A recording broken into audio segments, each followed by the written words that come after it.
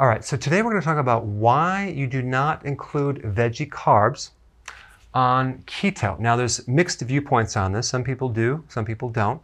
Um, I don't recommend including your vegetable carbohydrates in the formula for the carbs, and I'm going to tell you why. So let's take, for example, one cup of salad, okay? Usually going to do leafy greens in a salad. On average, one cup of leafy greens is 1.5 grams of carbohydrate, okay? Now, if we minus the fiber, which is one gram, we get 0.5 grams of net carbs, okay? So we're dealing with a half of a gram. Now, I do recommend seven to 10 cups of salad or vegetables per day. That would equal 3.5 to 5 grams of carbs. Extremely low. You're allowed 20 grams to 50 grams, okay? And your huge salad that provides a lot of benefit is only going to count for 3.5 to 5 grams, just a very small amount. So the overall calories and grams of carbohydrates in the salad that you eat are just such a small amount. It's almost insignificant. The glycemic index for a green salad is very small, it's 15. The glycemic load which is basically the amount of carbohydrate minus the uh, fiber, is 3. That's extremely low too, because less than 10 is low, 10 to 20 is moderate, and greater than 20 is high. So it's low on the glycemic index, it's low on the glycemic load. It has a significant amount of fiber, which actually causes the overall carbs to be less. So we're dealing with 0.5 grams. Now let's talk about some key benefits of vegetables and leafy greens into this keto plan. Well, number one, they provide the nutrients, the main nutrients, vitamins, minerals, and trace minerals.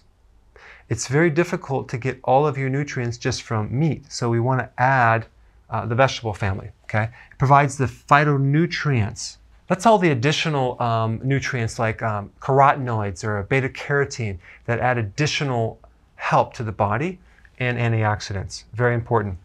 It also provides the fiber, the right type of fiber that is soluble and some insoluble, but mainly soluble, to feed your microbes, which then allow the microbes to exchange back the beneficial fatty acids like butyric acid, which then feeds the colon cells so you're able to feed the colon cells with the fiber.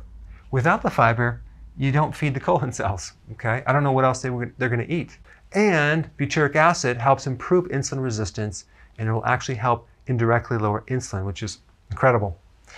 The vegetables will also, um, because they're alkaline, will buffer the acidic pH from the meat that you consume, which is another benefit. And lastly, it'll help the fat travel out of your body. If you're consuming uh, just fat and meat without the vegetables, okay?